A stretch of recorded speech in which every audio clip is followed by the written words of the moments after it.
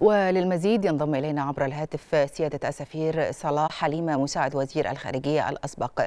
سيادة السفير بعد التحية يعني أعوام مرت أو 107 من الأعوام مرت على وعد بلفور وما زال العدوان الإسرائيلي مستمر.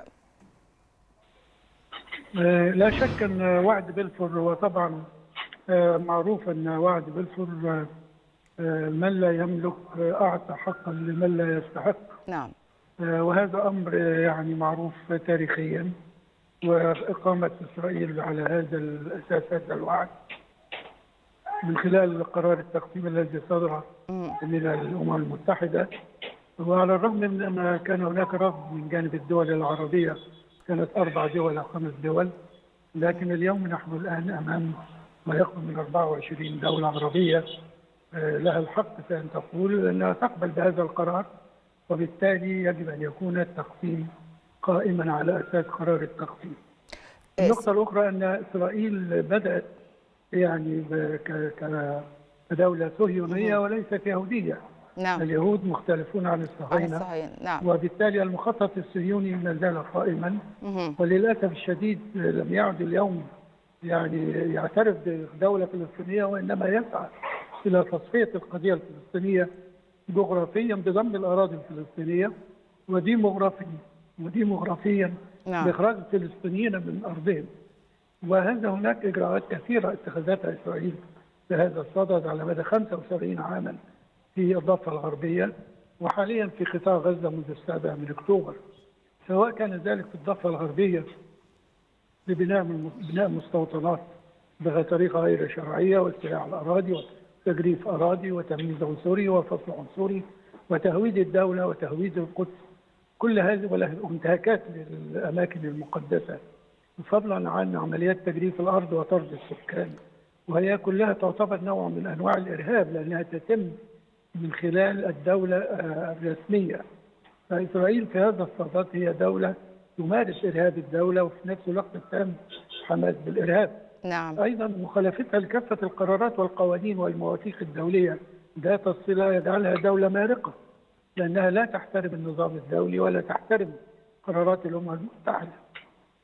بل بالعكس اليوم هي ممثلة كدولة أمام محكمة العدل الدولية وقادة إسرائيل ممثلين أمام محكمة الجنايات الدولية مما يؤكد أن هناك جرائم هناك جرائم ارتكبت سواء كانت ضد الإنسانية أو جرائم حرب. ومن المؤكد أنها سيتم ادانتها.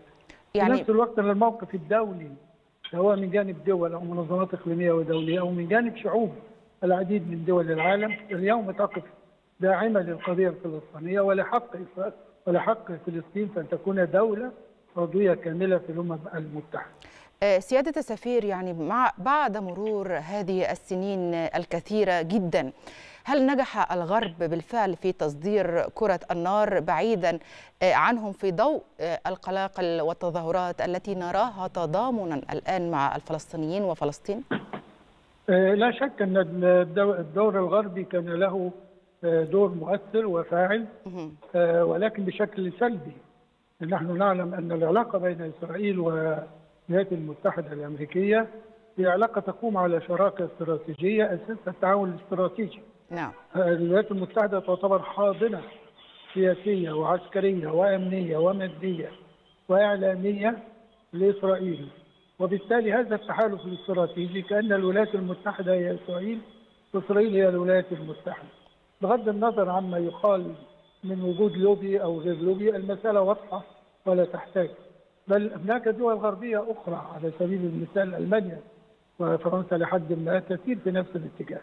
لكن لكن هناك دول أوروبية أيقنت وأدركت أن هناك مظالم هناك حقوق أهدرت ومظالم وقعت للشعب الفلسطيني.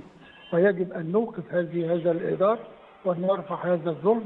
وبدأت تتخذ مواقف واتجاهات. وأيضا الشعوب هناك سيادة السفير. أيضا الشعوب هناك. آه طبعا والشعوب أيضا الشعوب الدول دي تأثرت بما يجري على أرض الواقع وما جرى من اغتصاب ونهب وما جرى من اعتداءات عدوان إسرائيلي غاشم وممارسة الإبادة الجماعية وأيضا العقاب الجماعي وأيضا هدم المنشآت والمباني والبنية الأساسية وقتل الأطفال النساء الأبرياء بأعداد غير مسبوقة. نعم. كل هذه الأمور لا شك تركت اثارا إيجابية لدى شعوب كثيرة ولدى دول كثيرة. نعم. هناك دول قطعت العلاقات مع إسرائيل. نعم. دول في أمريكا اللاتينية وفي غير أمريكا اللاتينية. مهم. فاليوم ربما المطلوب هو موقف عربي إسلامي قوي يجتمع كمؤتمر عربي إسلامي للمرة نعم. الثانية. نعم. وهناك خريطة طريق وضعت في المؤتمر الذي عقد في الرياض.